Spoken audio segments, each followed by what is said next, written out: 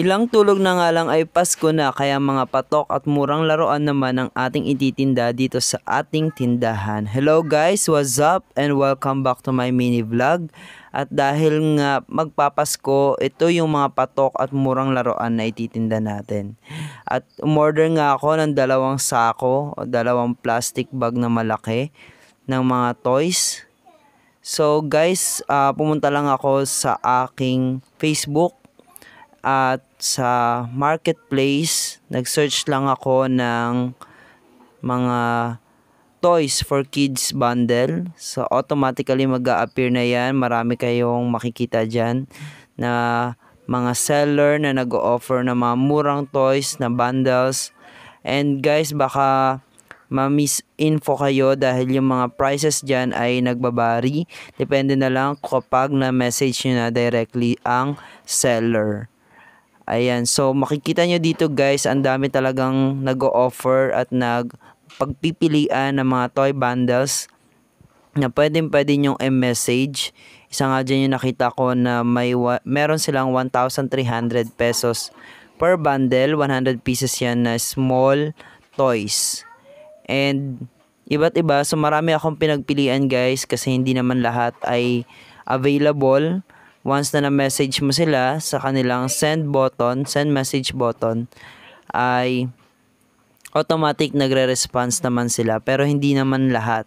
So depende pa rin sa location ng seller at sa mapagkakasundoan nyo. So luckily ay ay may nag-response nga sa atin sa mga message natin na seller. So eto siya. So nakapag-message nga ako sa kanya and automatic nag response agad siya. So, inoffer niya nga sa akin yung kanyang mga binibentang toy bundles. Pinakita, sinend niya rin sa akin yung mga sample pictures ng mga toys. Meron siyang small, medium. And, yes, tinulungan niya na ako agad maka, makapag-book. Ang swerte ko dahil uh, very accommodating ni seller. Kaya naman naging smooth at mabilis yung transaction namin. So, yes, ayun. At nabook nga kagad ni seller na isend niya kaagad sa kanyang picture na nakaalis na doon sa Binondo si Kuya Rider at pagkagabihan nga ay nakarating na siya dito sa location ko. And yes, eto na nga guys, ang aking na-order na toy bundle for kids. So yan, dahil nga excited ang lolo nyo, binuksan ko na agad yung mga plastic bag na to. And inisa-isa ko ng check, tingnan yung mga iba't ibang klase ng toys na na-order ko online. So, ang daming toys talaga, guys. Sobrang daming pagpipilian. So, syempre, uh, kailangan ko munang i-check isa-isa kung uh, maayos at maganda ba yung mga nakuha kong items o yung mga toys.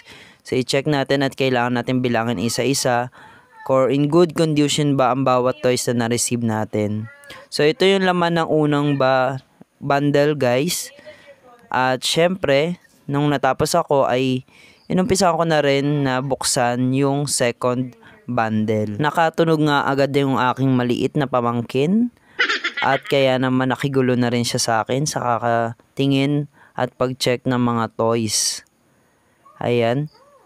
So nilalabas ko muna lahat at bibilangin ko yung laman ng mga toys na na order natin. Natapos ko na bilangin guys at ito medyo magulo pa kasi chinecheck ko lahat, binibilang ko isa-isa kung tama o akma ba yung bilang sa na-receive ko.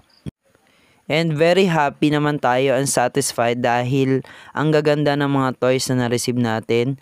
Sulit na sulit yung binayad natin at yung ibang toys dito ay pwede nating may benta sa iba't ibang presyo. Pero ako, pinifix ko lang para hindi rin nakakalito. So, nailagay ko na nga yung mga toys na yan, na isabit ko na I'm just thankful dahil tinulungan ako ng misis ko sa pag-ayos ng, ng mga panindang toys na to. So ito guys, yung iba sinabit ko lang para madali ding makita ng mga customer natin. At yung iba binitin ko lang at nilagay ko lang sa harap ng tindahan. So ito yun guys, nailapag ko na yung mga toys. So yung iba nilagay ko lang muna sa box ang daming pagpipilian. Mukhang tuwang-tuwa na naman yung ating mga customer na kids. Yung iba dito pwede ng pangregalo sa mga inaanak. Pwede na rin pang giveaway. At talagang perfect na rin pamasko sa ating mga inaanak o mga pamangkin. So medyo marami silang pagpipilian ngayon at happy happy ang mga tagalugar namin. Dahil hindi na nila kailangan pumunta ng bayan kung kailangan nilang bumili ng mga toys tulad nito. So I hope uh, nagustuhan nyo ang aking mini vlog. At kung may mga alam din kayong mga patok na paninda ngayong Pasko, ay i-share nyo na yan o i-comment nyo na yan dito sa ating vlog.